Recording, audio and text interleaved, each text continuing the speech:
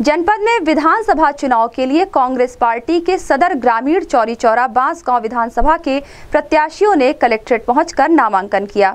जिसके संबंध में कांग्रेस के प्रत्याशियों ने बताया कि चुनाव जीतने पर महानगर की सड़कों को ठीक करवाया जाएगा और साथ ही ड्रेनेज सिस्टम को ठीक किया जाएगा। उन्होंने कहा कि स्वास्थ्य, शिक्षा, स्वास्थ्य सहित जनता को मूलभूत सुविधा उपलब्ध करवाया जाएगा और साथ ही जनता को सड़क, पानी, बिजली सहित सभी सुविधा उपलब्ध करवाया जाएगा। साथ ही किसानों, बेरोजगारों सहित सभी समस्याओं का समाधान किया जाएगा और महिलाओं की समस्याओं का समाधान किया जाएगा तथा सभी वर्गों को सम्मान करते हुए कार्य किया जाएगा।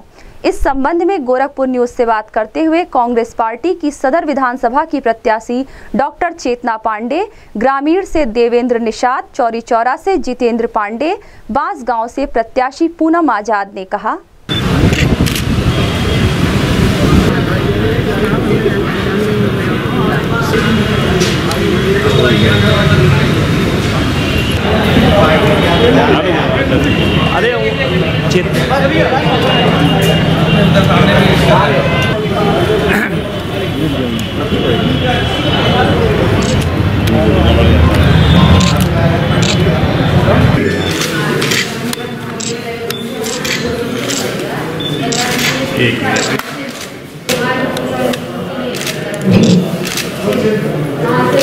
जाए तो रहना चाहिए। आप, आप हमारे ऑब्जर्वर हैं गोरखपुर ग्रामीण के और छत्तीसगढ़ देवेंद्र निषाद देवेंद्र निषाद इंद्रतेज ग्रामीण विधानसभा।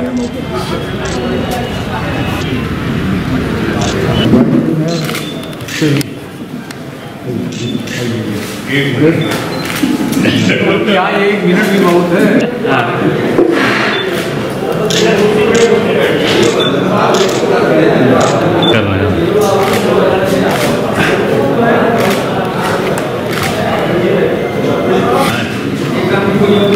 आज आखिरी दिन एक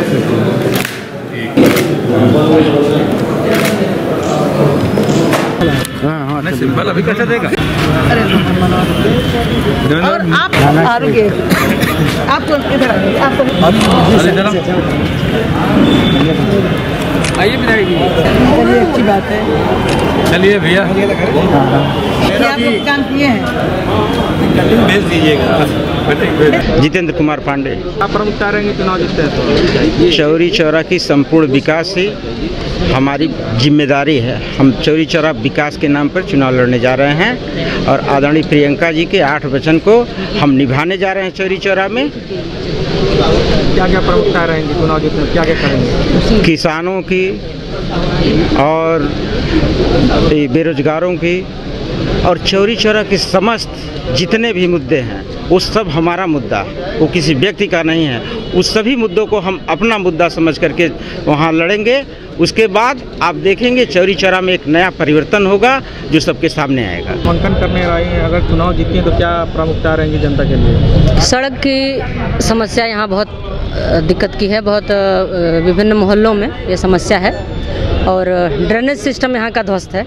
जल जमाव की समस्या लगातार तीन चार महीने मुझे लगता है अस्सी प्रतिशत से ज़्यादा शहर झेलता है। महिलाओं के लिए जो टॉयलेट्स होने चाहिए सार्वजनिक जगहों पे वो नहीं है उनको बनवाने की कोशिश रहेगी।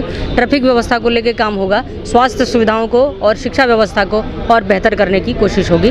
बाकी अवसर मिलता है तो विभिन्न मुद्दों पर देवेंद्र निषाद। चुनाव प्रत्याशी बनाया गया ग्रामीण से? क्या प्राथमिकता रहेंगी जनता के लिए? हमारे दल की ही प्राथमिकता है इस देश के हर व्यक्ति को न्याय मिले हर व्यक्ति को रोज़गार मिले सबको उसका हक अधिकार मिले। हम कांग्रेस पार्टी के एजेंडे पे ही काम करेंगे। और आप इतिहास भी जानते हैं इस देश का कि देश की आज़ादी के पहले कांग्रेस यह देश क्या था और सत्तर साल, पचहत्तर साल जो विपक्ष के लोग बोलते हैं कांग्रेस ने क्या किया, आज जो भी कुछ दिख रहा है, वो सब कांग्रेस ने किया है। देश के विकास के लिए कांग्रेस पार्टी का एजेंडा पहले से भी रहा है और भविष्य में भी रहेगा और यहाँ के नौजवानों को जो आज रोज़गार नहीं मिल रहा जो किसानों को आज तमाम दिक्कतें हो रही हैं, इन सारी दिक्कतों पे, चाहे मछुआ समाज की बात हो, चाहे वो किसी भी तबके का व्यक्ति हो जिनके हक अधिकार को छीना गया है, जो कांग्रेस धीरे धीरे इस देश के लोगों को उनका हक अधिकार देकर इस देश को एक मज़बूत देश बनाने पर लगी थी।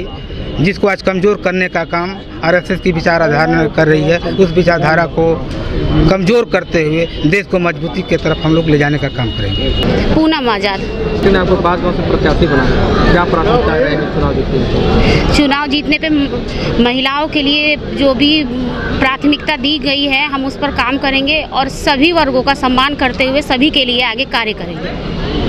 सोचा होगा आपने कि जीतने पे क्या क्या करेंगे? जीतने पे जो ये है, बेरोजगारी है, चाहे शिक्षा की बात है, चाहे महँगाई के लिए, इसके लिए हम कार्य करेंगे और अब अपनी सम्मानित जनता का विश्वास सब अब बनाए रखेंगे।